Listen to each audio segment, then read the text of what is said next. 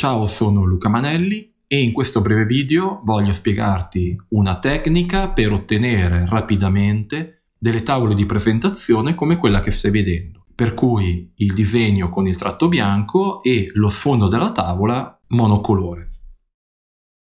Per realizzare la tavola che ti ho fatto vedere, la prima cosa che vado a fare è quella di andare all'interno del book di layout e andare a duplicare un master layout. Una volta duplicato questo master layout lo andrò a sistemare in modo tale da ottenere lo sfondo monocolore. Vado a rinominare il nome del master layout e una volta fatto lo vado ad aprire. Per quanto riguarda degli elementi contenuti all'interno del cartiglio, posso magari procedere e andarli a cancellare nel caso in cui non mi interessa visualizzarli all'interno delle tavole di presentazione. Per quanto riguarda invece la squadratura e i testi, devo procedere a fare delle modifiche. Tutti gli elementi linea li vado a selezionare, per cui linee e polilinee,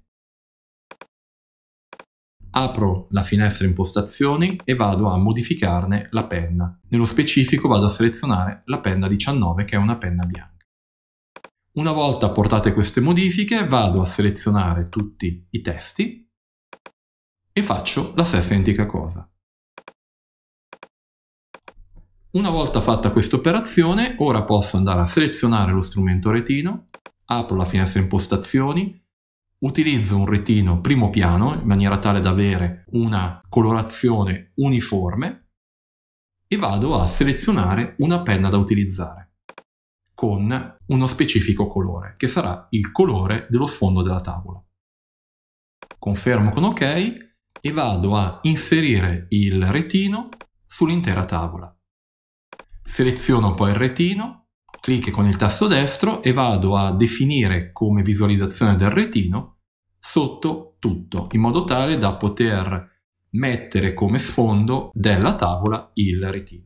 Questa sarà la colorazione che vedremo poi quando andremo a salvare la tavola. Se ora vado a creare un layout a cui andrò a associare questo nuovo master, vedremo che tutto lo sfondo risulterà di colore rosso vado a creare il layout e vado ad associare il master. Clicco su crea, questa è la tavola che ora andremo a impaginare.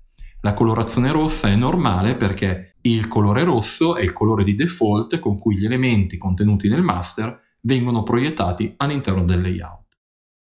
Una volta fatta questa scelta, passo a lavorare sul disegno, per cui vado in pianta, vado ad apportare tutte le modifiche necessarie la prima modifica che vado a fare è dedicata ai retini, perché tutti gli elementi d'arredo, come gli elementi costruttivi, hanno all'interno un retino.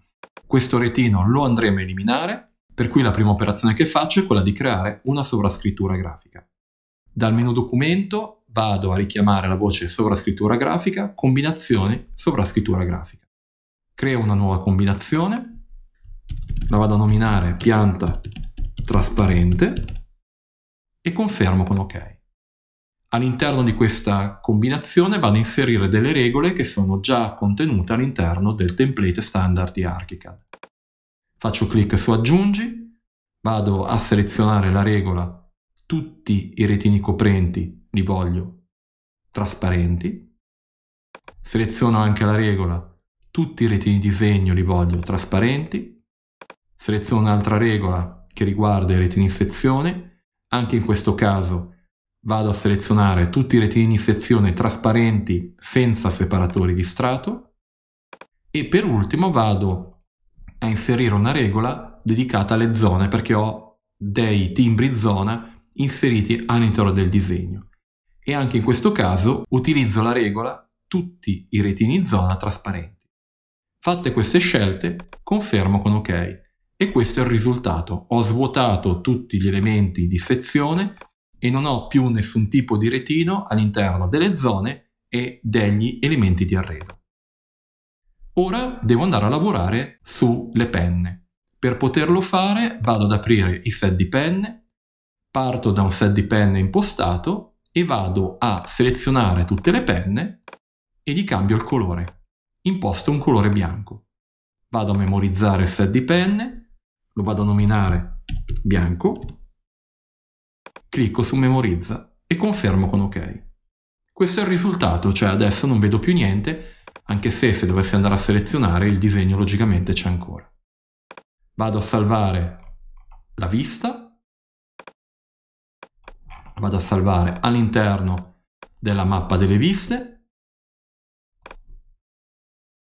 queste sono le sue caratteristiche, confermo con ok. Ora ritorno all'interno del layout e posso procedere a impaginare la vista. Una volta impaginata la vado a selezionare, apro la finestra impostazioni e nascondo il titolo e questo è il risultato. Ora vediamo, salvando la tavola in formato PDF, come sarà la rappresentazione della tavola. Vado a salvare in formato PDF Ecco, questo è il risultato, che poi è quello che hai visto all'inizio di questo video.